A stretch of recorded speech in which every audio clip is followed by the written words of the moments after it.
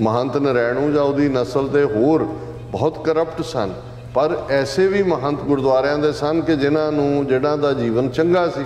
ਔਰ ਸੰਗਤ ਨੇ ਉਹਨਾਂ ਨੂੰ ਜਦੋਂ ਸੰਗਤ ਨੇ ਗੁਰਦੁਆਰਾ ਸਾਹਿਬ ਦੀ ਸੇਵਾ ਸੰਭਾਲ ਵੀ ਲਈ ਉਹਨਾਂ ਦਾ ਉਹਨਾਂ ਨੇ ਸਤਿਕਾਰ ਕਰਕੇ ਉਹਨਾਂ ਨੂੰ ਕਿਹਾ ਜੀ ਤੁਸੀਂ ਬਹੁਤ ਸੇਵਾ ਕਰ ਰਹੇ ਹੋ। 47 ਤੋਂ ਬਾਅਦ ਕਿਵੇਂ ਹੈਵੀਲੀ ਪੋਲਿਟਿਸਾਈਜ਼ ਹੋਈ ਸ਼੍ਰੋਮਣੀ ਕਮੇਟੀ?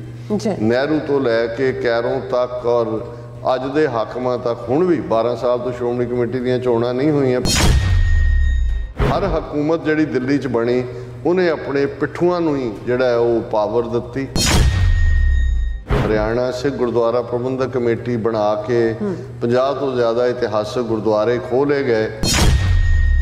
ਹਰਿਆਣੇ 'ਚ ਇਸ ਐਡਹਾਕ ਕਮੇਟੀ ਨੂੰ ਅੱਗੇ ਲਾ ਕੇ ਜਿਹੜੀ ਇਹਨਾਂ ਦੀ ਆਰਐਸਐਸ ਦੇ ਹੱਥ ਠੋਕਿਆਂ ਦੀ ਹੈ ਐਡਮਿਨਿਸਟ੍ਰੇਸ਼ਨ ਗੁਰਦੁਆਰਿਆਂ ਤੇ ਕਬਜ਼ੇ ਕਰੇਗਾ। ਜਿਹੜੇ ਸ਼੍ਰੋਮਣੀ ਕਮੇਟੀ ਦੇ ਕੰਟਰੋਲ ਵਾਲਿਆਂ ਨੇ ਉਹ ਰੈਜ਼ਿਸਟ ਕਰਨਗੇ ਗੁਰਦੁਆਰਿਆਂ 'ਚ ਪੱਗਾਂ ਲੱਥਣਗੀਆਂ।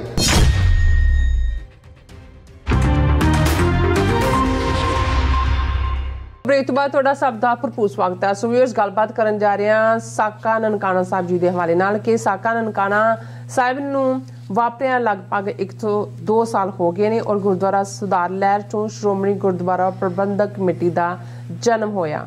ਸੋ ਸਿੱਖ ਕੌਮ ਵਿੱਚ ਹਰ ਪੱਧਰ ਤੇ ਆਇਆ ਹੋਇਆ ਨਿਗਾਰ ਦੱਸਦਾ ਹੈ ਕਿ ਸ਼੍ਰੋਮਣੀ ਗੁਰਦੁਆਰਾ ਪ੍ਰਬੰਧਕ ਕਮੇਟੀ ਸਿੱਖ ਧਰਮ ਦੇ ਪ੍ਰਚਾਰ ਪ੍ਰਸਾਰ ਦੇ ਆਪਣੇ ਮਿਸ਼ਨ ਵਿੱਚ ਪੂਰੀ ਤਰ੍ਹਾਂ ਫੇਲ ਹੋਈ ਹੈ। ਸੋ ਹੁਣ ਧਾਰਮਿਕ ਅਤੇ ਸਿਆਸੀ ਜਾਗਰਤੀ ਲਈ ਸਿੱਖ ਕੌਮ ਨੂੰ ਕੀ ਕਰਨ ਦੀ ਲੋੜ ਹੈ? ਸੋ ਇਸ ਬਾਰੇ ਆਪਾਂ ਗੱਲਬਾਤ ਕਰਨ ਜਾ ਰਹੇ ਹਾਂ। ਸੋ ਅਸੀਂ ਚਾਹਾਂਗੇ ਕਿ ਤੁਸੀਂ ਇਸੇ ਤਰ੍ਹਾਂ ਬਣੇ ਰਹਿਣਾ ਦੇਖਣ ਸੁਣਨੇ ਜਾਂ ਲਿਖਣ ਲਈ ਤੁਹਾਡਾ ਸਭ ਦਾ ਬਹੁਤ ਬਹੁਤ ਸ਼ੁਕਰੀਆ। ਜੀ ਡਾਕਟਰ ਸਾਹਿਬ ਕੀ ਵਿਚਾਰਾਂ ਨੇ? ਦੇਖੋ ਕੁਝ ਅਲਫਾਜ਼ ਜਿਹੜੇ ਸਾਡੇ ਧਾਰਮਿਕ ਔਰ ਸਿਆਸੀ ਸਟਰਗਲ ਨਾਲ ਜੁੜੇ ਹੋਏ ਨੇ ਸਾਡੀਆਂ ਕੁਰਬਾਨੀਆਂ ਸ਼ਹਾਦਤਾਂ ਨਾਲ ਜੁੜੇ ਹੋਏ ਨੇ ਅੱਛਾ। ਉਹਨਾਂ ਦੇ ਵਿੱਚ ਸਾਕਾ ਹੈ। ਮੋਰਚਾ ਹੈ ਤੇ ਘੱਲੂਕਾਰ ਹੈ। ਬਾਕੀ ਜਦੋਂ ਅਸੀਂ ਸਾਕਾ ਲਫ਼ਜ਼ ਕਹਿੰਦੇ ਹਾਂ ਤੇ ਸਾਕਾ ਬਹੁਤ ਵਾਰ ਇੱਕ ਟ੍ਰੈਜੇਡੀ ਨੂੰ ਜਿਹੜਾ ਹੈ ਉਸ ਮੂਰਤੀਮਾਨ ਕਰਦੇ ਜੀ। ਔਰ ਮੋਰਚਾ ਜ਼ਾਹਰ ਹੈ ਐਜੀਟੇਸ਼ਨ ਲਫ਼ਜ਼ ਦੇ ਲਈ ਔਰ ਮੋਰਚਾ ਲਫ਼ਜ਼ ਆਇਆ ਤਾਂ ਉਹਦੇ ਚੋਂ ਹੀ ਜਿਹੜੇ ਜਦੋਂ ਤੁਸੀਂ ਜੰਗੀ ਲੈਵਲ ਦੇ ਉੱਤੇ ਇੱਕ ਪੋਜੀਸ਼ਨ ਲੈ ਲੈਂਦੇ ਹੋ ਭਾਵੇਂ ਟ੍ਰੈਂਚ ਖੋਦਿਆ ਹੁੰਦਾ ਹੈ ਖੰਦਕ ਦੇ ਵਿੱਚ ਹੁੰਦੇ ਹੋ ਜਾਂ ਅਦਰਵਾਈਜ਼ ਜ਼ਮੀਨ ਤੇ ਲੇਟ ਕੇ ਤੇ ਸਿਆਸੀ ਪਿੜ ਦੇ ਵਿੱਚ ਜਿਹੜੇ ਲਫ਼ਜ਼ ਨੂੰ ਸਿੱਖਾਂ ਨੇ ਇਨਫੈਕਟ ਠੀਕ मीनिंग ਦਿੱਤਾ ਜਿਵੇਂ ਸ਼ਹੀਦ ਲਫ਼ਜ਼ ਜਦੋਂ ਸਾਊਥ ਏਸ਼ੀਆ ਦੇ ਖਿੱਤੇ ਚ ਆਇਆ ਭਾਵੇਂ ਆਇਆ ਤੇ ਅਰਬ ਚੋਂ ਇਸਲਾਮ ਚੋਂ ਪਰ ਜੇ ਸਾਊਥ ਏਸ਼ੀਆ ਦੇ ਖਿੱਤੇ 'ਚ ਇਸ ਨੂੰ ਮਤਲਬ ਦਿੱਤਾ ਅਰਥ ਦਿੱਤਾ ਕਿ ਸ਼ਹੀਦ ਹੁੰਦਾ ਕੀ ਹੈ ਉਹ ਸਿੱਖਾਂ ਨੇ ਦਿੱਤਾ ਹੈ। ਜੀ ਇਸੇ ਤਰ੍ਹਾਂ ਜਦੋਂ ਅਸੀਂ ਇੱਕ ਤਾਂ ਜੰਗੀ ਮੋਰਚੇ ਸੀ ਉਹ ਤਾਂ ਹਮੇਸ਼ਾ ਹੀ ਸਿੱਖ ਦੇ ਕਿਰਦਾਰ ਕਰੈਕਟਰ ਦੇ ਵਿੱਚ ਹੀ ਇਹ ਰਿਹਾ ਕਿ ਨਿਸ਼ਚੈ ਕਰ ਆਪਣੀ ਆਪਣੀ ਜੀਤ ਜੀਤ ਕਰੋ ਤੇ ਜਾਂ ਅਤ ਹੀ ਰਣ ਮੈਂ ਤਬ ਜੂਝ ਮਰੋ। ਤਾਂ ਇਹ ਆਮ ਹੀ ਸੀ ਕਿ ਵੀ ਮੋਰਚਾ ਛੱਡਣਾ ਨਹੀਂ ਹੈ। ਸਿੱਖ ਮੋਰਚਾ ਛੱਡ ਕੇ ਨਹੀਂ ਭੱਜਦੇ ਜਾਂ ਦੂਜੇ। ਲੇਕਿਨ 20ਵੀਂ ਸਦੀ ਚ ਜਦੋਂ ਅਸੀਂ ਗੁਰਦੁਆਰਾ ਸੁਧਾਰ ਲਹਿਰ ਦੇ ਨਾਲ ਦੇਖਦੇ ਹਾਂ ਤਾਂ ਇਹ ਮੋਰਚਾ ਫਿਰ ਇੱਕ ਨਵੇਂ ਲਫ਼ਜ਼ਾਂ ਦੇ ਵਿੱਚ ਜਿਹਨੂੰ ਅਮਨ ਪਸੰਦ ਸ਼ਾਂਤਮਈ ਅੰਦਾਜ਼ ਦੇ ਵਿੱਚ ਜਥਿਆਂ ਦਾ ਅਕਾਲ ਤਖਤ ਸਾਹਿਬ ਤੇ ਅਰਦਾਸਾ ਸੋਧ ਕੇ ਜਾਣਾ ਗ੍ਰਿਫਤਾਰੀਆਂ ਦੇਣੀਆਂ ਡਾਂਗਾ ਖਾਣੀਆਂ ਜਿਵੇਂ ਗੁਰੂ ਕੇ ਬਾਗ ਦੇ ਮੋਰਚੇ 'ਚ ਖਾਧੀਆਂ ਜਾਂ ਤੋਪਾਂ ਦੇ ਅੱਗੇ ਉਹ ਤਾਂ ਖੈਰ ਕੁੱਕਿਆਂ ਦਾ ਪਾਰਟ ਸੀ ਜਿਵੇਂ ਮਸ਼ੀਨ ਗਨਾਂ ਦੇ ਸਾਹਮਣੇ ਜੈਤੋ ਦੇ ਮੋਰਚੇ 'ਚ ਜਿਹੜੀ ਹੈ ਆਪਣਾ ਕੁਰਬਾਨੀਆਂ ਦੇਣਾ। ਅੱਛਾ। ਔਰ ਫਿਰ ਅਸੀਂ ਜ਼ਾਹਰ ਹੈ ਕਿ ਵੀ ਇਹ ਘੱਲੂਕਾਰਾ ਉਸ ਲੈਵਲ ਤੇ ਜਿਹੜਾ ਜੰਗੀ 'ਚ ਵੀ ਹੁੰਦਾ ਜੰਗ 'ਚ ਵੀ ਹੁੰਦਾ ਹੈ। ਜਿਵੇਂ ਵੱਡਾ ਘੱਲੂਕਾਰਾ ਔਰ ਛੋਟਾ ਘੱਲੂਕਾਰਾ ਦੋ ਘੱਲੂਕਾਰੇ ਸਾਡੇ ਜੰਗ ਦੇ ਚਲਦਿਆਂ ਹੋਏ ਜਿਹਦੇ 'ਚ ਇਨਡਿਸਕ੍ਰਿਮੀਨੇਟ ਕਿਲਿੰਗ ਹੁੰਦਾ ਹੈ ਔਰਤਾਂ ਬੱਚਿਆਂ ਬਜ਼ੁਰਗਾਂ ਦਾ। ਔਰ ਇੱਕ ਜਿਹੜਾ ਕਿ ਬਿਲਕੁਲ ਸ਼ਾਂਤਮਈ ਅੰਦਾਜ਼ ਦੇ ਮਾਹੌਲ ਦੇ ਵਿੱਚ ਜਦੋਂ ਅਸੀਂ ਜੂਨ 84 ਔਰ ਨਵੰਬਰ 84 ਦੇ ਦੋ ਇਹਨਾਂ ਘੱਲੂਕਾਰਿਆਂ ਦੀ ਗੱਲ ਕਰਦੇ ਹਾਂ ਮੌਜੂਦਾ ਦੌਰ ਦੇ ਅੱਛਾ। ਫਿਰ ਉਹ ਘੱਲੂਕਾਰੇ ਨੇ ਜਿਨ੍ਹਾਂ ਲਈ ਦਿਨ ਵੀ ਗੁਰੂ ਅਰਜਨ ਸਾਹਿਬ ਦਾ ਸ਼ਹੀਦੀ ਦਿਨ ਚੁਣਿਆ ਗਿਆ। ਕੋਈ ਜੰਗ ਨਹੀਂ ਸੀ ਕੋਈ ਖਾਲਸਾ ਫੌਜ ਨਹੀਂ ਸੀ ਕਿ ਉਹਨਾਂ ਨੇ ਇੰਡੀਅਨ ਸਟੇਟ ਦੇ ਖਿਲਾਫ ਕੋਈ ਵਾਰ ਡਿਕਲੇਅਰ ਕੀਤੀ ਹੋਈ ਸੀ। ਹਾਂ ਆਪਣੇ ਅਕਾਲ ਤਖਤ ਦਰਬਾਰ ਸਾਹਿਬ ਨੂੰ ਡਿਫੈਂਡ ਕਰਨ ਦੇ ਲਈ ਜਿਹੜਾ ਕੁਝ ਦਰਜਨ ਸਿੰਘ ਜਿਹੜੇ ਨੇ ਉਹਨਾਂ ਨੇ ਪੋਜੀਸ਼ਨਾਂ ਲਈਆਂ ਹੋਈਆਂ ਸੀ ਲੇਕਿਨ ਕਿਸੇ ਨੇ ਬਾਹਰ ਨਿਕਲ ਕੇ ਹਮਲਾ ਨਹੀਂ ਕੀਤਾ। ਪਰ ਜਿਸ ਅੰਦਾਜ਼ 'ਚ ਫਿਰ ਟੈਂਕਾਂ ਤੋਪਾਂ ਦੇ ਨਾਲ 37 ਇਤਿਹਾਸਕ ਗੁਰਦੁਆਰਿਆਂ ਨੂੰ ਨਿਸ਼ਾਨਾ ਬਣਾਇਆ ਗਿਆ ਔਰ ਬਜ਼ੁਰਗ ਬੱਚੇ ਬੱਚੀਆਂ ਜਿਹੜੇ ਕਿ ਆਪਣੇ ਗੁਰੂ ਦੇ ਚਰਨਾਂ ਦੇ ਵਿੱਚ ਦੀਦਾਰ ਕਰਨ ਲਈ ਆਏ ਸਨ ਕਿਵੇਂ ਉਹਨਾਂ ਦਾ ਜਿਹੜਾ ਉਹਨਾਂ ਦੀ ਅੱਧੀ ਜਿਹੜੀ ਹੈ ਮੈਸੈਕਰਿੰਗ ਕੀਤੀ ਗਈ ਉਹ ਆਪਣੇ ਆਪ ਦੇ ਵਿੱਚ ਇਸ ਘੱਲੂਕਾਰਾ ਲਫ਼ਜ਼ ਨੂੰ ਅਜੋਕੇ ਸੰਦਰਭ ਦੇ ਵਿੱਚ ਵੀ ਬਿਆਨਦਾ ਹੈ ਜਦੋਂ ਅਸੀਂ 20ਵੀਂ ਸਦੀ ਵੱਲ ਨਜ਼ਰ ਮਾਰਦੇ ਹਾਂ ਜ਼ਾਹਰ ਹੈ ਕਿ ਵੀ 18ਵੀਂ ਸਦੀ ਚ ਵੀ ਅਸੀਂ ਘੱਲੂਕਾਰਿਆਂ ਚੋਂ ਨਿਕਲੇ ਸਿੱਖ ਰਾਜ ਬਾਬਾ ਬੰਦਾ ਸਿੰਘ ਬਹਾਦਰ ਨੇ ਸਥਾਪਿਤ ਕੀਤਾ ਹੈ ਜਾਂ ਥੋੜ ਚਿਰਾ ਹਫ਼ਤੇ ਦੋ ਹਫ਼ਤੇ ਦਾ ਬਾਬਾ ਬੋਤਾ ਸਿੰਘ ਬਾਬਾ ਗਰਜਾ ਸਿੰਘ ਨੇ ਕੀਤਾ ਜਾਂ। ਫਿਰ 12 ਮਿਸਲਾਂ ਨੇ ਲਗਭਗ 40 ਸਾਲ ਦੇ ਕਰੀਬ 1794 ਤੋਂ ਲੈ ਕੇ 1799 ਤੱਕ ਜਦੋਂ ਕਿ ਫਿਰ 12 ਮਿਸਲਾਂ ਨੂੰ ਇੱਕ ਝੰਡੇ ਥੱਲੇ ਮਹਾਰਾਜਾ ਰਣਜੀਤ ਸਿੰਘ ਲਿਆਏ ਅੱਡ ਅੱਡ ਤਰੀਕਿਆਂ ਨਾਲ। ਫਿਰ ਮਹਾਰਾਜਾ ਰਣਜੀਤ ਸਿੰਘ ਦੇ ਥੱਲੇ 40 ਸਾਲ ਜਿਹੜਾ ਹੈ ਉਹ ਸਰਕਾਰੇ ਖਾਲਸਾ ਜੀਓ ਹੁੰਦਾ ਹੈ।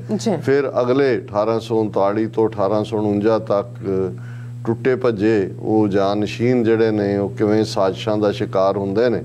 ਪਰ ਫਿਰ ਵੀ ਉਹ 10 ਸਾਲ ਦਾ ਪੀਰੀਅਡ 1849 ਚ ਅੰਗਰੇਜ਼ ਉਸ ਸਰਕਾਰੇ ਖਾਲਸਾ ਦੇ 1.5 ਲੱਖ ਮੁਰੱਬਾ ਮੀਲ ਤੋਂ ਜ਼ਿਆਦਾ ਦੇ ਇਲਾਕੇ ਤੇ ਕਾਬਜ਼ ਹੋ ਜਾਂਦੇ ਨੇ। ਅੱਛਾ। ਹੁਣ ਇਸ ਸਾਰੇ ਪੀਰੀਅਡ ਦੇ ਵਿੱਚ ਜਦੋਂ ਅਸੀਂ ਸਿੱਖ ਇਤਿਹਾਸ ਦਾ 18ਵੀਂ ਸਦੀ ਤੋਂ ਪਾਠ ਦੇਖਦੇ ਹਾਂ ਕਿ ਸਾਡੇ ਲਈ ਸੰਗਤ ਦਾ ਕਨਸੈਪਟ ਧਰਮਸਾਲ ਜਿਸ ਲਈ ਬਾਤ ਲਫ਼ਜ਼ ਗੁਰਦੁਆਰਾ ਜ਼ਿਆਦਾ ਪਪੂਲਰ ਹੋਇਆ ਇਹ ਹਮੇਸ਼ਾ ਅਹਿਮ ਰਿਹਾ। ਸਾਡੇ ਸਾਰੇ ਹੀ ਜਿਹੜੇ ਜੀਵਨ ਦੇ ਸ਼ੋਭੇ ਨੇ ਉਹ ਧਾਰਮਿਕ ਹੋਏ ਸਮਾਜਿਕ ਹੋਏ ਸਿਆਸੀ ਹੋਏ ਰੂਹਾਨੀ ਤਾਂ ਹੈ ਹੀ ਹੈ। ਜਾਂ ਈਵਨ ਕਿਸੇ ਦੇ ਲਈ ਵੀ ਕੁਝ ਕਰਨ ਦੇ ਤਾਂ ਸਾਡਾ ਮਰਕਜ਼ ਗੁਰਦੁਆਰਾ ਹੀ ਹੈ। ਔਰ ਇਹੀ ਕਾਰਨ ਸੀ ਕਿ ਜਦੋਂ ਅਸੀਂ ਈਵਨ ਸਿੱਖ ਰਹਿਤ ਮਰਿਆਦਾ ਜਿਸ ਨੂੰ ਗੁਰੂ ਸਾਹਿਬ ਨੇ ਹੀ ਡਿਫਾਈਨ ਕੀਤਾ ਗੁਰਬਾਣੀ 'ਚ ਵੀ ਅਸੀਂ ਦੇਖਦੇ ਹਾਂ। ਸੋ ਉਸ ਲਈ ਸਿੱਖ ਲਈ ਰੋਜ਼ਾਨਾ ਗੁਰੂ ਦੀ ਸ਼ਰਨ 'ਚ ਜਾਣਾ ਧਰਮਸਾਲ ਜਾਣਾ ਸੰਗਤ 'ਚ ਜਾਣਾ ਇਹ ਇੱਕ ਮੈਂਡੇਟਰੀ ਪਾਰਟ ਸੀ ਔਰ ਹੈ। ਅ, ਇਹਦੇ 'ਚ ਵੀ ਕੋਈ ਸ਼ੱਕ ਨਹੀਂ ਕਿ ਜਦੋਂ 18ਵੀਂ ਸਦੀ ਦੇ ਵਿੱਚ ਸਿੱਖ ਆਪਣੀ ਹੋਂਦ ਦੀ ਲੜਾਈ ਲੜ ਰਹੇ ਸੀ ਔਰ ਖਾਸ ਤੌਰ ਤੇ ਇਹ ਗੱਲ ਉਹਨਾਂ ਨੂੰ ਸਮਝ ਆ ਗਈ ਸੀ ਕਿ ਵੀ ਬਿਨਾਂ ਰਾਜ ਦੀ ਪ੍ਰਾਪਤੀ ਤੋਂ ਜਿਹੜਾ ਹੈ ਉਹ ਸਿੱਖੀ ਵੈਲਿਊਜ਼ ਸੁਰੱਖਿਅਤ ਨਹੀਂ ਰਹਿਣਗੀਆਂ ਔਰ ਇਸ ਧਰਤੀ ਤੇ ਸੱਚ ਹੱਕ ਇਨਸਾਫ ਦਾ ਬੋਲਬਾਲਾ ਨਹੀਂ ਹੋਏਗਾ ਉਹ ਪੀਰੀਅਡ ਸੀ ਕਿ ਜ਼ਾਹਰ ਹੈ ਜੇ ਤੁਸੀਂ ਜੰਗਲਾਂ ਦੇ ਵਿੱਚੋਂ ਤੁਸੀਂ ਘਰੋਂ ਬੇਘਰੋਂ ਘੋੜਿਆਂ ਦੀਆਂ ਕਾਠੀਆਂ ਨੂੰ ਤੁਸੀਂ ਆਪਣਾ ਘਰ ਬਣਾਇਆ ਹੋਇਆ ਹੈ। ਤੇ ਸਾਡੇ ਗੁਰਦੁਆਰੇ ਧਰਮਸ਼ਾਲਾਵਾਂ ਉਸ ਪੀਰੀਅਡ ਦੇ ਵਿੱਚ ਜਿਹੜੀਆਂ ਅੱਡ-ਅੱਡ ਸਾਧੂ ਪਰੰਪਰਾਵਾਂ ਉਹ ਭਾਵੇਂ ਨਿਰਮਲੇ ਹੋਣ ਉਦਾਸੀ ਹੋਣ ਕੋਈ ਹੋਰ ਜਿਹੜੇ ਵੀ ਅੱਡ-ਅੱਡ ਸੈਕਟ ਰਹੇ ਜਿਨ੍ਹਾਂ ਦਾ ਕੋਈ ਪੰਜ ਕਕਾਰੀ ਖਾਲਸਾਈ ਰੂਪ ਤਾਂ ਨਹੀਂ ਸੀ, ਪਰ ਗੁਰਬਾਣੀ ਦੇ ਨਾਲ ਜਿਹੜਾ ਸ਼ਰਧਾ ਇਤਕਾਦ ਜਾਂ ਇਹ ਕਹਿਣਾ ਹੋਏ ਕਿ ਉਹਨਾਂ ਦੀ ਹੋਂਦ ਘੱਟੋ ਘੱਟ ਗੁਰਦੁਆਰਿਆਂ ਦੇ ਵਿੱਚ ਦੀਵਾ ਜ਼ਰੂਰ ਜਗਦਾ ਸੀ ਔਰ ਉਹਨਾਂ ਨੇ ਬਾਣੀ ਦੀ ਜਾਗ ਲਾਈ ਹੋਈ ਸੀ, ਜਿਹਦੇ ਰਾਹੀਂ ਫਿਰ ਉਹਨਾਂ ਹੀ ਪਰਿਵਾਰਾਂ ਦੇ ਵਿੱਚੋਂ ਜਿਹੜੇ ਬਾਣੀ ਨਾਲ ਜੁੜੇ ਹੋਏ ਸਿੱਖੀ ਨੂੰ ਪ੍ਰੇਮ ਕਰਨ ਵਾਲੇ ਸੀ, ਉਹਨਾਂ ਦਾ ਹੀ ਕੋਈ ਅਣਖੀ ਪੁੱਤਰ ਪੁੱਤਰੀ ਘਰ ਛੱਡ ਕੇ ਨਿਕਲ ਜਾਂਦਾ ਸੀ ਕਿ ਖਾਲਸੇ ਦੇ ਜਥਿਆਂ ਨੂੰ ਲੱਭਦਾ ਸੀ ਅੰਮ੍ਰਿਤ ਛਕ ਕੇ ਤਿਆਰ ਬਰ ਤਿਆਰ ਹੋ ਕੇ ਕੁਰਬਾਨੀ ਦੇ ਲਈ ਉਹ ਨਿੱਤਰ ਆਉਂਦਾ ਸੀ। ਔਰ ਇਹੀ ਕਾਰਨ ਸੀ ਕਿ ਜਦੋਂ ਸਿੱਖ ਮਿਸਲਾਂ ਦਾ ਇਹ ਵੇਲੇ ਸਿੱਖ ਰਾਜ ਆਇਆ ਜਾਂ ਮਹਾਰਾਜਾ ਰਣਜੀਤ ਸਿੰਘ ਦੇ ਵੇਲੇ ਇਹ ਜਿਹੜੇ ਉਦਾਸੀ ਨਿਰਮਲੇ ਔਰ ਦੂਸਰੇ ਭੇਖਾਂ ਦੇ ਸੇਵਾਪੰਥੀ ਇਹ ਪਰੰਪਰਾਵਾਂ ਵਾਲੇ ਸੀ ਇਹਨਾਂ ਤੋਂ ਗੁਰਦੁਆਰੇ ਪੰਥ ਨੇ ਨਹੀਂ ਖੋਏ।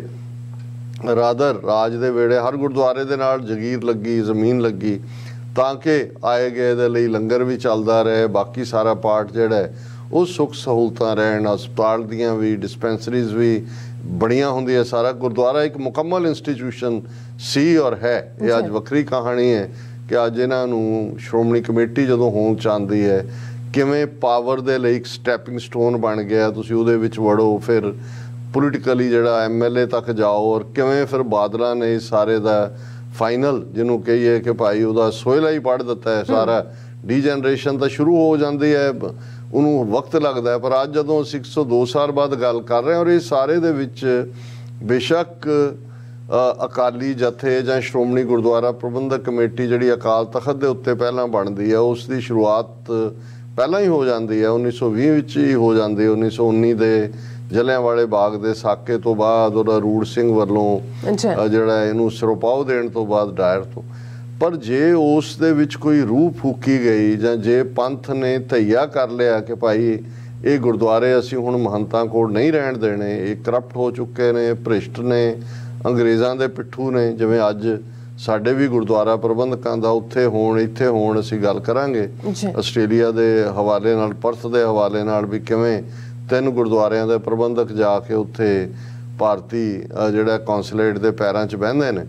ਤੇ ਇਹ ਸਾਰਾ ਉਹ ਪਿੱਠੂ ਲਾਣਾ ਜਿਹੜਾ ਇਹ ਸਾਰਾ ਉਸ ਡੀਜਨਰੇਟ ਸਿਸਟਮ ਦਾ ਹਿੱਸਾ ਹੀ ਹੈ ਜਿਨ੍ਹਾਂ ਨੇ ਪੰਥ ਦੇ ਨਾਲ ਉਦੋਂ ਵੀ ਧਰੋ ਕਮਾਇਆ ਸੀ ਨਾਲ ਖਲੋਤੇ ਸੀ ਉਹਨਾਂ 'ਚ ਉਹ ਇਕੱਲੇ ਮਹੰਤ ਨਹੀਂ ਸੀ। ਮਹੰਤਾਂ ਦੀ ਆਪਣੀ ਕੀ ਮਜਾਲ ਸੀ? ਇਸ ਕਿਸਮ ਦੇ ਸਰਕਾਰੀ ਪਿੱਠੂ ਲੋਕ ਵੀ ਜਿਹੜੇ ਨੇ ਉਹ ਮਹੰਤਾਂ ਦੀ ਪਿੱਠ ਦੇ ਉੱਤੇ ਸੀ। ਹਿੰਦੂ ਤਾਂ ਵੀ ਤਾਂ ਹੈ ਹੀ ਸੀ। ਲਾਲਾ ਲਾਜਪਤ ਰਾਏ ਗਾਂਧੀ ਇਹਨਾਂ ਸਾਰਿਆਂ ਦਾ ਰੋਲ ਉਹ ਇੱਕ ਵੱਖਰਾ ਚੈਪਟਰ ਬਣੇਗਾ ਜੇ ਇਸ ਦੇ ਉੱਤੇ ਅਸੀਂ ਗੱਲ ਕੀਤੀ ਡਿਟੇਲ 'ਚ ਹੁਣ ਲੇਕਿਨ ਜਿਹੜਾ ਸਾਕਾ ਨਨਕਾਣਾ ਸਾਹਿਬ ਜਿਸ ਨੂੰ ਅਸੀਂ ਯਾਦ ਕਰਦੇ ਹਾਂ ਜਿਹੜਾ ਬੇਸ਼ੱਕ ਡੇਟ ਕਈ ਵਾਰ 21 ਫਰਵਰੀ ਦਿੱਤੀ ਜਾਂਦੀ ਹੈ ਵਾਪਰਦਾ 20 ਫਰਵਰੀ ਨੂੰ ਹੈ ਪਰ ਕਿਉਂਕਿ ਉਸ ਨੂੰ ਦਰਵਾਜ਼ੇ ਬੰਦ ਕਰਕੇ ਜੋ ਮਹੰਤ ਨਰੈਣ ਔਰ ਉਹਦੇ ਗੁੰਡਿਆਂ ਨੇ 130 ਤੋਂ ਜ਼ਿਆਦਾ ਸਿੰਘਾਂ ਨੂੰ ਸ਼ਹੀਦ ਕੀਤਾ ਕਿੰਨਿਆਂ ਦੀਆਂ ਖੋਪੜੀਆਂ ਕਿੰਨਿਆਂ ਦੇ ਮਾਸਾਂ ਦੇ ਕਿੰਨੇ ਟੋਕਰੇ ਮਾਸ ਦੇ ਲੋਥੜਿਆਂ ਦੇ ਉਹ ਅਗਲੇ ਦਿਨ ਕਿਉਂਕਿ ਸਿੱਖ ਸੰਗਤਾਂ ਸਨ 1921 ਚ ਵਾਪਰਦਾ ਹੈ 20 ਫਰਵਰੀ 1921 ਨੂੰ। ਲੇਕਿਨ ਬਹੁਤ ਵਾਰ ਜੇ ਅਸੀਂ ਕੈਲੰਡਰ ਮੁਤਾਬਕ ਦੇਖਦੇ ਹਾਂ ਤਾਂ ਫਿਰ 21 ਫਰਵਰੀ ਦਾ ਦਿਨ ਵੀ ਦਿੱਤਾ ਜਾਂਦਾ। ਹੈ ਪਰ ਕਿਉਂਕਿ 21 ਫਰਵਰੀ ਇੰਟਰਨੈਸ਼ਨਲ ਮਦਰ ਲੈਂਗੁਏਜ ਡੇ ਵੀ। ਹੈ ਸੋ ਅਸੀਂ ਸਾਕਾ ਨਨਕਾਣਾ ਸਾਹਿਬ ਬਾਰੇ ਤਾਂ ਬਹੁਤ ਜਾਣਕਾਰੀ ਅਵੇਲੇਬਲ ਹੈ ਪਰ ਸਾਡਾ ਫੋਕਸ ਇਸ ਗੱਲ ਤੇ ਹੈ ਔਰ ਜਿਵੇਂ ਮੈਂ ਰਿਵਰ ਸਾਈਡ ਦੀ ਆਪਣੀ ਪ੍ਰੈਜੈਂਟੇਸ਼ਨ 'ਚ ਵੀ ਕਿਹਾ ਸੀ ਕਿ ਜਦੋਂ 21 ਫਰਵਰੀ ਨੂੰ ਫਿਰ ਉਹ ਸਾਰਾ ਵਰਤਾਂਤ ਸਾਹਮਣੇ ਆਉਂਦਾ ਹੈ ਕਿਵੇਂ ਭਾਈ ਲక్ష్మణ ਸਿੰਘ ਧਾਰੋਵਾਲ ਨੂੰ ਜਿਉਂਦੇ ਜੰਡ ਦੇ ਨਾਲ ਬੰਨ ਕੇ ਸਾੜਿਆ ਜਾਂਦਾ ਹੈ।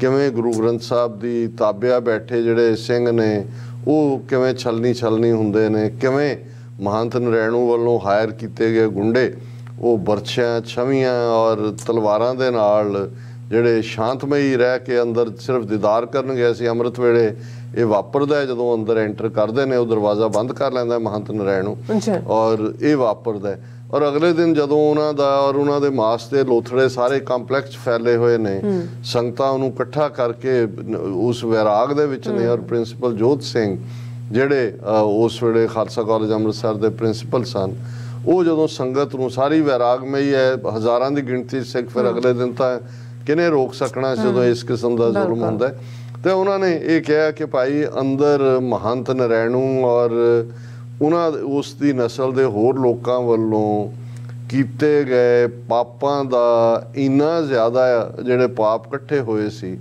ਕਿ ਉਹਨਾਂ ਨੂੰ ਧੋਣ ਦੇ ਲਈ ਪਵਿੱਤਰ ਖੂਨ ਦੇ ਦੀ ਲੋੜ ਸੀ। ਔਰ ਇਹਨਾਂ ਨੇ ਇਹਨਾਂ ਗੁਰਸਿੱਖਾਂ ਦੇ ਦੇ ਉਸ ਰੱਬੀ ਪਿਆਰ ਚ ਰੰਗੇ ਹੋਏ ਖੂਨ ਨੇ। ਇਹਦੇ ਮਹੰਤ ਦੇ ਗੁਨਾਹ ਨੂੰ ਧੋ ਦਿੱਤਾ। ਔਰ ਉਸ ਚੋਂ ਫਿਰ ਇਹ ਸਾਕਾ ਨਨਕਾਣਾ ਸਾਹਿਬ ਨੇ ਸਮੁੱਚੀ ਕੌਮ ਦੇ ਅੰਦਰ ਇੱਕ ਉਹ ਸਪਿਰਿਟ ਭਰੀ। ਜੀ।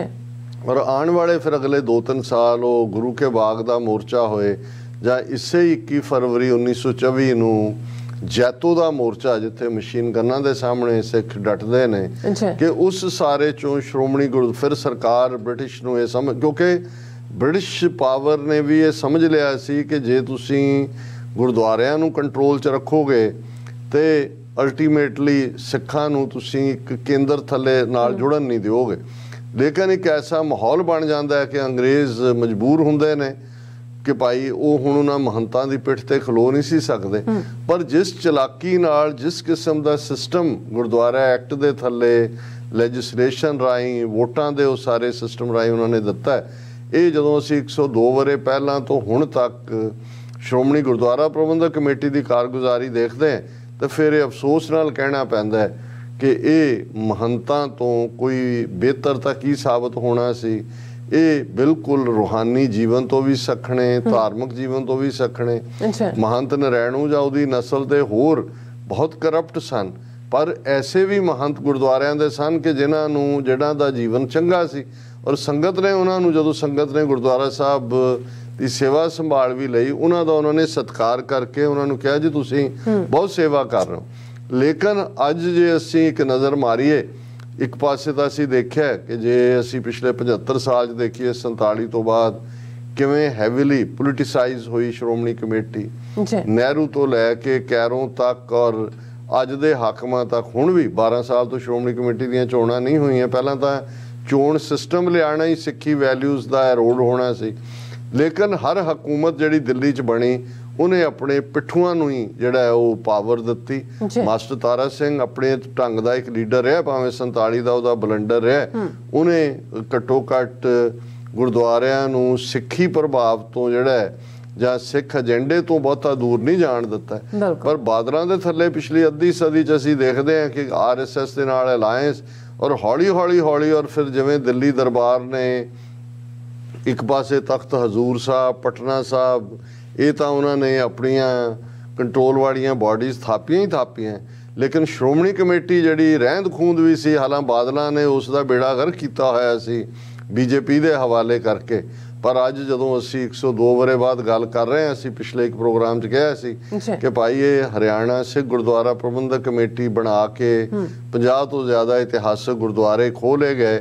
ਔਰ ਐਡਹਾਕ ਕਮੇਟੀ ਜਿਹੜੀ ਬਣਾਈ ਹੈ ਮਨੋਹਰ ਲਾਲ ਖੱਟੜ ਨੇ ਉਹ ਆਰਐਸਐਸ ਦੇ ਦੁਮ ਛੱਲਿਆਂ ਦੀ ਹੈ ਔਰ ਉਹਨਾਂ ਦਾ ਇੰਚਾਰਜ ਜਿਹੜਾ ਉਹਨੂੰ ਐਡਹਾਕ ਪ੍ਰੈਜ਼ੀਡੈਂਟ ਬਣਾਇਆ ਮਹੰਤ। ਜੋ ਮਹੰਤ ਲਫ਼ਜ਼ ਹੀ ਸੁਣ ਕਰਮਵੀਰ ਸਿੰਘ। ਔਰ ਜਦੋਂ ਅਸੀਂ ਦੇਖ ਰਹੇ ਹਾਂ ਕਿ 102 ਸਾਲ ਪਹਿਲਾਂ ਉਹਨਾਂ ਤੋਂ ਲੈ ਕੇ ਸ਼੍ਰੋਮਣੀ ਕਮੇਟੀ ਤੱਕ ਦਾ ਸਫ਼ਰ ਹੈ ਤੇ ਨਾਲ ਦੀ ਨਾਲ ਅਸੀਂ ਜਦੋਂ ਉਸ ਪ੍ਰੋਗਰਾਮ 'ਚ ਕਿਹਾ ਸੀ ਕਿ ਹੁਣ ਹਰਿਆਣੇ 'ਚ ਇਸ ਐਡਹਾਕ ਕਮੇਟੀ ਨੂੰ ਅੱਗੇ ਲਾ ਕੇ ਜਿਹੜੀ ਇਹਨਾਂ ਦੀ ਆਰਐਸਐਸ ਦੇ ਹੱਥ ਠੋਕਿਆਂ ਦੀ ਹੈ ਐਡਮਿਨਿਸਟ੍ਰੇਸ਼ਨ ਗੁਰਦੁਆਰਿਆਂ ਤੇ ਕਬਜ਼ੇ ਕਰੇਗਾ। ਜਿਹੜੇ ਸ਼੍ਰੋਮਣੀ ਕਮੇਟੀ ਦੇ ਕੰਟਰੋਲ ਵਾਲੇ ਨੇ ਉਹ ਰੈਜ਼ਿਸਟ ਕਰਨਗੇ। ਗੁਰਦੁਆਰਿਆਂ 'ਚ ਪੱਗਾਂ ਲੱਥਣਗੀਆਂ। ਫਿਰ ਉਹ ਸਿਨੈਰੀਓ ਹੋਏਗਾ ਔਰ ਐਨ ਉਹੀ ਕੁਝ ਵਾਪਰਿਆ ਜਦੋਂ ਅਸੀਂ ਅੱਜ ਦੀਆਂ ਖਬਰਾਂ ਦੇ ਵਿੱਚ ਦੇਖਦੇ ਹਾਂ ਕਿ ਕੁਰੂਕਸ਼ੇਤਰ ਦੇ ਵਿੱਚ ਗੁਰਦੁਆਰਾ 6ਵੀਂ ਪਾਤਸ਼ਾਹੀ ਇਤਿਹਾਸਕ ਗੁਰਦੁਆਰਾ ਕੁਰੂਕਸ਼ੇਤਰ 'ਚ ਉਹਦੇ 'ਚ ਮਹੰਤ ਕਰਮਜੀਤ ਸਿੰਘ ਦੀ ਅਗਵਾਈ ਦੇ ਵਿੱਚ ਜ਼ਬਰਦਸਤੀ ਇਹਨਾਂ ਨੇ ਕਬਜ਼ਾ ਲਿਆ। ਸ਼੍ਰੋਮਣੀ ਕਮੇਟੀ ਦੇ ਉਹਨਾਂ ਨੂੰ ਧੱਕੇ ਮਾਰ ਕੇ ਔਰ ਦੂਜੇ ਔਰ ਉਹੀ ਵਾਇਲੈਂਸ ਦੀਆਂ ਤਸਵੀਰਾਂ ਜਿਹੜੀਆਂ ਨੇ ਉਹ ਮੀਡੀਆ ਤੇ ਵੀ ਚੱਲ ਰਹੀਆਂ ਨੇ ਪ੍ਰਿੰਟ ਮੀਡੀਆ 'ਚ ਵੀ ਨੇ। ਸ਼੍ਰੋਮਣੀ ਕਮੇਟੀ ਦਾ ਪ੍ਰੈਜ਼ੀਡੈਂਟ ਇਹ ਕਹਿ ਰਿਹਾ ਕਿ ਭਾਈ ਇਹ ਜਿਹੜਾ ਹੈ ਧੱਕਾਸ਼ਾਹੀ ਗੁੰਡਾਗਰਦੀ ਕੁਰੂਕਸ਼ੇਤਰ ਗੁਰਦੁਆਰਾ ਸਾਹਿਬ ਦੇ ਤਾਲੇ ਤੋੜਨ ਦੀ ਸਖਤ ਆਲੋਚਨਾ ਇਹ ਉਹ ਇਹ ਵਰਤਾਰਾ ਅਸੀਂ ਆਉਣ ਵਾਲੇ ਪੀਰੀਅਡ 'ਚ ਹੋਰ ਵੀ ਦੇਖਾਂਗੇ। ਸੋ ਇਸ 'ਚ ਇਹ ਤਾਂ ਆਪਣੇ ਆਪ 'ਚ ਇੱਕ ਡੀ ਜਨਰੇਸ਼ਨ ਦਾ ਵੀ ਸਬੂਤ ਹੈ ਪਰ ਸਰਕਾਰੀ ਕੰਟਰੋਲ ਕਿਵੇਂ ਸਿੱਧੇ ਤੌਰ ਤੇ ਇਹਨਾਂ ਦੇ ਹਵਾਲੇ ਹੈ। ਪਰ ਕੁੱਲ ਮਿਲਾ ਕੇ ਅਸੀਂ ਜੇ ਦੇਖੀਏ ਕਿ 102 ਵਰਿਆਂ ਦੇ ਵਿੱਚ ਜੇ ਪੰਜਾਬ ਦੇ ਵਿੱਚ ਡੇਰਾਵਾਦ ਪਨਪਦਾ ਹੈ ਇਹ ਬੇਸ਼ੱਕ ਸੈਂਟਰਲ ਹਕੂਮਤ ਨੇ ਉਹ ਰਾਧਾ ਸਵਾਮੀ ਹੋਣ ਨਰਕਧਾਰੀ ਹੋਣ ਆਸ਼ੂ ਤੋਸ਼ੀਏ ਹੋਣ ਭਨਿਆਰਾ ਹੋਏ ਸੌਦਾ ਸਾਧ ਹੋਏ ਉਹਨਾਂ ਨੇ ਖੜਾ ਕੀਤਾ ਪਰ ਖੜੇ ਤਾਂ ਉਸ ਵੈਕਿਊਮ ਦੇ ਵਿੱਚ ਹੀ ਹੁੰਦੇ ਨੇ ਜੇ ਸ਼੍ਰੋਮਣੀ ਕਮੇਟੀ ਨੇ ਆਪਣੇ ਫਰਜ਼ ਜਿਹੜੇ ਧਾਰਮਿਕ ਸਿੱਖੀ ਦੇ ਪ੍ਰਚਾਰ ਪ੍ਰਸਾਰ ਦੇ ਤਨਦੇਹੀ ਨਾਲ ਨਿਭਾਏ ਹੁੰਦੇ। ਪੰਜਾਬ ਦੇ 12 13 ਹਜ਼ਾਰ ਪਿੰਡਾਂ ਜੇ ਹਰਿਆਣਾ ਹਿਮਾਚਲ ਵੀ ਜੋੜ ਲਓ। ਜੀ। 1000 ਕਰੋੜ ਤੋਂ ਜ਼ਿਆਦਾ ਬਜਟ ਉਹਨਾਂ ਦਾ ਹੈ। ਤੁਹਾਡੇ ਹਰ 5-10 ਪਿੰਡਾਂ ਦੇ ਨਾਲ ਜੁੜਿਆ ਇੱਕ ਪੂਰਾ ਇੱਕ ਧਾਰਮਿਕ ਕੇਂਦਰ ਹੁੰਦਾ ਹੈ ਜਿਹਦੇ 'ਚ ਹਰ ਕਿਸਮ ਦੀ ਸਹੂਲਤ ਲਿਟਰੇਚਰ ਲੇਟੈਸਟ ਟੈਕਨੋਲੋਜੀ ਤੁਸੀਂ ਲਰਨਡ ਤੁਹਾਡੇ ਸਕਾਲਰ ਵਿਦਵਾਨ ਉਹਨਾਂ ਨੂੰ ਤੁਸੀਂ ਭਾਵੇਂ EMPLOYE ਕੀਤਾ ਹੁੰਦਾ ਨੌਜਵਾਨੀ ਦੇ ਕੋਲ ਜਿਹੜਾ ਜਿਹਦੇ ਨਾਲ ਉਹ ਇੰਟਰੈਕਟ ਕਰ ਸਕਦੇ। ਲੇਕਿਨ ਅਸੀਂ ਇਹ ਦੇਖਦੇ ਹਾਂ ਕਿ ਹੌਲੀ ਹੌਲੀ ਹੌਲੀ ਸ਼੍ਰੋਮਣੀ ਕਮੇਟੀ ਵੀ ਗੁਰਦੁਆਰਿਆਂ 'ਚ ਉਹੀ ਕਾਰੋਬਾਰੀ ਸਿਲਸਿਲੇ ਰੁਮਾਲੇ ਚੜਾਣ ਜਾਂ ਅਖੰਡ ਪਾਠਾਂ ਦੀ ਲਿਸਟ ਸਾਲ ਦਾ ਬੁੱਕ ਹੋ ਗਿਆ 2 ਸਾਲ ਦਾ ਹੋ ਗਿਆ ਔਰ ਉਹਨਾਂ ਨੂੰ ਆਪਣੇ ਬਜਟ ਤੱਕ ਰਿਹਾ ਔਰ ਜਿਸ ਲੈਵਲ ਤੇ ਔਰ ਇਸ ਵੇਲੇ 20000 ਤੋਂ ਜ਼ਿਆਦਾ ਮੁਲਾਜ਼ਮ ਨੇ ਸ਼੍ਰੋਮਣੀ ਕਮੇਟੀ ਦੇ ਆਲਮੋਸਟ ਉਹਨਾਂ ਦੇ ਬਜਟ ਦਾ 60 ਤੋਂ 70% ਗੁਰਦੁਆਰੇ ਦੇ ਰੱਖ ਰਖਾਵ ਤੇ ਤਨਖਾਹਾਂ ਹੀ ਨਿਕਲਦਾ ਹੈ। ਇੰਨਾ ਵੱਡਾ ਜਿਹੜਾ ਇਹਨਾਂ ਨੇ ਜਿਹੜੇ ਨੇ ਉਹ ਆਪਣਾ ਉਸ ਕਿਸਮ ਦੇ ਖਰਚੇ ਦੀ ਥਾਂ ਬਣਾਈ ਹੋਈ। ਹੈ ਲੇਕਿਨ ਜੇ ਤੁਸੀਂ ਗ੍ਰਾਸ ਰੂਟ ਤੇ ਦੇਖੋ ਕਿ ਸਿੱਖੀ ਦਾ ਪ੍ਰਚਾਰ ਕਿੱਥੇ ਹੈ? ਤੇ ਫਿਰ ਇਹ ਨਹੀਂ ਸੀ ਹੋਣਾ ਕਿ ਪਤਤਪੁਣਾ ਇਸ ਲੈਵਲ ਤੇ ਹੁੰਦਾ ਤਮਾਕੂ ਇਸ ਲੈਵਲ ਤੇ ਪਹੁੰਚਦਾ ਇਹ ਡੇਰਾਵਾਦ ਇਸ ਲੈਵਲ ਦੇ ਉੱਤੇ ਪਨਪਦਾ। ਸੋ ਅਸੀਂ ਆਉਣ ਵਾਲੇ ਦਿਨਾਂ 'ਚ ਵੀ ਇਸ ਦੇ ਉੱਤੇ ਗੱਲ ਕਰਾਂਗੇ। ਪਰ ਮੈਂ ਸਮਝਦਾ ਹਾਂ ਵੀ 102 ਵਰੇ ਬਾਅਦ ਜਦੋਂ ਅਸੀਂ ਖਲੋਤੇ ਹਾਂ ਉਵੇਂ ਦਾ ਹੀ ਮਹੰਤ ਕਰਮਜੀਤ ਸਿੰਘ ਹਰਿਆਣੇ ਦੇ ਗੁਰਦੁਆਰੇ ਦਾ ਪ੍ਰਧਾਨ ਹੈ। ਤੇ ਜਿਹੜੇ ਪੰਜਾਬ 'ਚ ਬੈਠੇ ਹੋਏ ਨੇ ਕਿਸੇ ਦੇ ਨਾਂ ਨਾਲ ਐਡਵੋਕੇਟ ਲੱਗਾ ਹੋਏ ਕਿ ਡਾਕਟਰ ਲੱਗਾ ਹੋਏ ਕਿ ਕੋਈ ਹੋਰ ਲੱਗਾ ਹੋਏ ਪਰ ਇਹ ਬਾਦਲ ਟੱਬਰ ਦੀ ਜਿਹੜੀ ਹੈ ਉਹ ਜਿਹਨੂੰ ਅਸੀਂ ਫੀਫਡਮ ਕਹਿੰਦੇ ਆ ਜਗੀਰ ਬਣੀ ਹੋਈ ਹੈ ਇਸ ਚੋਂ ਕੁਝ ਕੱਢਣ ਪਾਉਣ ਨੂੰ ਨਹੀਂ ਰਿਹਾ ਔਰ ਕੌਮ ਦੀ ਫਰਸਟ੍ਰੇਸ਼ਨਸ ਆ ਰਿਹਾ ਵੀ ਅੱਜ ਜੇ ਪੰਥਕ ਮੁੱਦਿਆਂ ਦੇ ਜਿਹੜੀ ਸ਼੍ਰੋਮਣੀ ਕਮੇਟੀ ਔਰ ਸ਼੍ਰੋਮਣੀ ਅਕਾਲੀ ਦਲ ਇੱਕ ਸਦੀ ਸਿੱਖ ਕੌਮ ਦੀ ਸਿਆਸੀ ਧਾਰਮਿਕ ਆਵਾਜ਼ ਵਜੋਂ ਜਾਣੇ ਜਾਂਦੇ ਰਹੇ ਜਾਂ ਤਵੱਕੋ ਰਹੀ ਉਹਨਾਂ ਤੋਂ। ਅੱਜ ਹਾਲ ਇਹ ਹੈ ਕਿ ਕੌਮੀ ਇਨਸਾਫ ਮੋਰਚਾ ਚੰਡੀਗੜ੍ਹ 'ਚ ਲੱਗਾ ਉਹਦੇ 'ਚ ਇਹਨਾਂ ਦਾ ਕੋਈ ਲਾਗਾ ਦੇਗਾ ਨਹੀਂ। ਰਾਦਰ ਇੱਕ ਮੰਗੀ ਇਹ ਹੈ ਵੀ ਜਿਹੜੇ 320 ਤੋਂ ਜ਼ਿਆਦਾ ਗੁਰੂ ਗ੍ਰੰਥ ਸਾਹਿਬ ਦੇ ਸਰੂਪ ਗਾਇਬ ਕੀਤੇ ਨੇ ਉਹਨਾਂ ਦਾ ਹਿਸਾਬ ਦਿਓ। ਬੈਬਲ ਕਲਾਂ 'ਚ ਮੋਰਚਾ ਲੱਗਾ ਹੈ। ਔਰ ਜੇ ਹਰਿਆਣੇ 'ਚ ਗੁੰਡਾਗਰਦੀ ਆਰਐਸਐਸ ਨੇ ਆਪਣੇ ਉਸ ਕਿਸਮ ਦੇ ਲੋਕ ਲਿਆ ਕੇ ਕਬਜ਼ੇ ਕਰਵਾਉਣ ਦੀ ਹੈ। ਤੁਹਾਨੂੰ ਸਿੱਖ ਕੌਮ 'ਚ ਕੋਈ ਰਿਐਕਸ਼ਨ ਨਜ਼ਰ ਨਹੀਂ ਆਉਂਦਾ। ਕਿਉਂਕਿ ਆਲਰੇਡੀ ਇਹਨਾਂ ਦੀ ਕ੍ਰੈਡੀਬਿਲਿਟੀ ਖਤਮ ਹੋ ਚੁੱਕੀ ਜੀ ਡਾਕਟਰ ਸਾਹਿਬ ਤੁਹਾਡਾ ਬਹੁਤ ਬਹੁਤ ਸ਼ੁਕਰੀਆ ਸਾਥ ਲੈਣ ਬ੍ਰੇਕ ਵਿਊਅਰਸ ਤੁਸੀਂ ਇਸੇ ਤਰ੍ਹਾਂ ਬਣੇ ਰਹਿਣਾ। ਮਿਲਦੇ ਆਫਟਰ ਦਿਸ ਸ਼ਾਰਟ ਬ੍ਰੇਕ